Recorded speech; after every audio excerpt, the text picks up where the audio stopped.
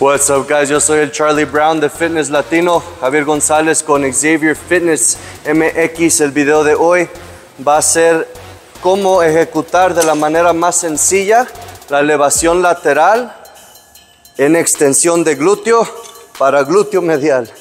So, este es un ejercicio súper importante para, bueno, más mujeres que hombres porque yo me siento algo ridículo al hacerlo, pero Entiendo que es 2024 y pues todos ya hacemos extensión de glúteo y nadie nos tiene que criticar por hacerlo. Pero eh, la manera de ejecutarlo, hay muchas, muchas maneras en donde tú puedes hacerlo para encontrarte.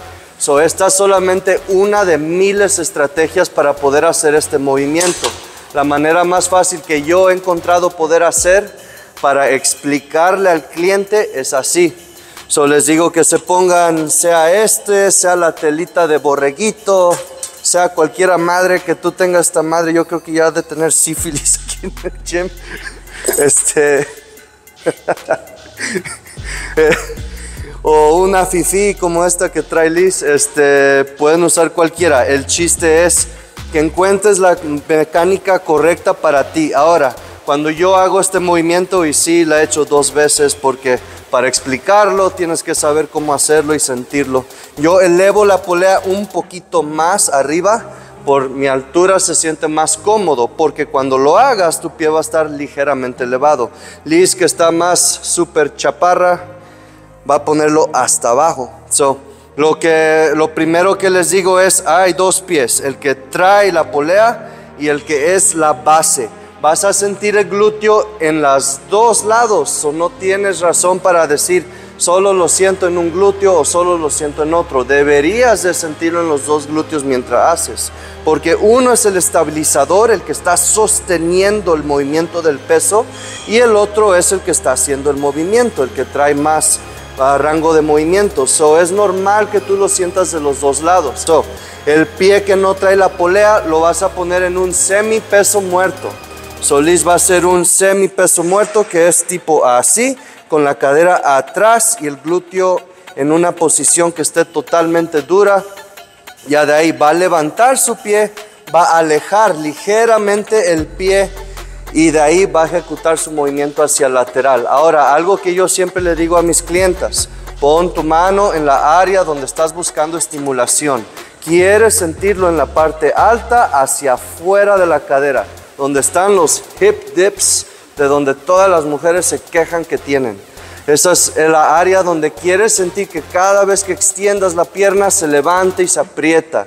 Si no lo estás sintiendo de esa manera o en esa área, tienes que jugar un poco con tus ángulos. ¿De qué te ríes cada segundo? Ah, te duele. Ah, es normal, es el chiste. Qué bueno. ¿Ves? Sí funciona. Después de... All right, ¿en qué andaba? Los hip dips. So, como ya saben, hay glúteo mayor, hay glúteo medial, hay glúteo menor. So, ella está buscando el glúteo medial y glúteo menor y glúteo mayor. Es bien difícil tratar de darle isolation a solamente una zona del glúteo. Obviamente todas las zonas trabajan en conjunto para hacer cualquier movimiento. Si yo hago bíceps también voy a sentirlo una gotita en los hombros. Todos los músculos se unen en la misma zona. O decir que solamente quieres estimular una área, pues no. Pero lo que tú sí buscas es que mayormente ciertas una cierta área y los otros músculos sean los que apuertan estabilidad y movimiento para ese ángulo que estás buscando. So, Liz lo va a hacer otra vez, ya va a estar bien bombeada de una nalga. Lo que tú buscas es un rango apto para ti. Cuando yo hago este movimiento, tengo que jugar un poco con mis rangos, porque si doy una patada muy fuerte, ya cuando estoy cansado, lo empiezo a sentir en la espalda. Si ando de un ángulo girado más hacia acá o ando girado más hacia acá, empiezo a sentir hasta oblicuos o hasta cuádriceps. So tienes que girar, tienes que jugar un poco con tus ángulos para encontrar el adecuado para esa área del glúteo. Man, este video va a ser una pinche tortura para editar. Creo que lo voy a subir así nada más. So, rangos de, rangos de repeticiones. Rangos de repeticiones, estás buscando lo que yo veo apto para mí, siempre son 10 repeticiones. Como yo nunca en mi vida he hecho extensión de glúteo en polea, llego a 10 y ya siento todo bien bombeado.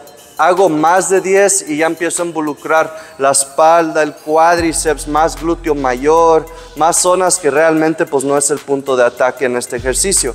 So, para mí el rango es 10. Mujeres que ya traen experiencia, noto que 12 a 15 es perfecto para ellas. El chiste es encontrar un peso que cuando ya llegues de 10 a 15 ya estés batallando para mantener el control adecuado. Ahora voy a calarlo yo para hacer una vergüenza total con ustedes y todos me hagan burla en los comments. Alright, so voy a poner este pie en un semi peso muerto. Voy a poner el otro pie más enfrente y de ahí voy a ejecutar mi movimiento. Ahora, aquí estoy sintiendo mucho cuádriceps. So, ¿Qué voy a hacer para cambiar mi ángulo? Me voy a girar un poco más hacia acá. Me voy a alejar un poco más de la polea y voy a sacar un poco más mi cadera. De ahí levanto mi pie, lo pongo un poco enfrente y le voy a ahí está. Voy a girarlo un poco más hacia atrás de mí y ya ahí lo siento totalmente en esa parte del glúteo. Ahora, yo sé que me veo ridículo porque según yo, pues cuando era joven estas madres no se deben de hacer si eres hombre, pero sí he sentido una tremenda diferencia de estabilidad cuando hago mi peso muerto de powerlifting y hago mi sentadilla de powerlifting y camino con piedras o costales, se siente mucho la diferencia en cuanto a la estabilidad.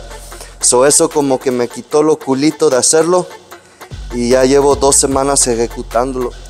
Fuck. Ahora, como les dije, los, las dos nalgas me calan. Este porque está estabilizando el peso y este porque está ejecutando. Pero si tienes, ¡ah, su madre! Pero si tienes que, si tienes que jugar si tienes que jugar un buen con los ángulos y encontrar el tuyo. A la primera no te va a salir, a lo mejor en la primera semana no te va a salir, pero sí vas a crear raíces, vas a crear zonas donde tú sientas más estiramiento y más contracción en esa zona. Y en cuanto encuentres eso, ese es el ángulo que quieres buscar. Pero la manera más fácil que yo he entendido explicar, porque si he calado todas, la de pon tu pie así, pon tu pie así, haz un pinche marshmallow aquí, luego te giras y haces todo esto. Muy confuso para un principiante al explicarlo. Pero si mi principiante ya sabe cómo hacer el peso muerto, es mucho más fácil explicarles este movimiento de esa manera. Eso es una parte muy fácil en cómo hacerlo. Este es un ejercicio que le he puesto a todas las muchachas que tengo en este gimnasio y en el otro. Y es uno muy importante porque sí ayuda mucho con el aspecto visual del glúteo. Para mí no me importa tanto el aspecto visual de mis glúteos, lo que me importa es más resistencia, más explosividad, más estabilidad, menos riesgo a lesión cuando estoy cargando pesado. So, en ese aspecto sí me ha ayudado a mí un buen con solamente las dos semanas que llevo trabajándolas. Recomiendo que ustedes lo hagan igual. Inténtalo, hombres y mujeres. Love you guys. God bless. Peace out.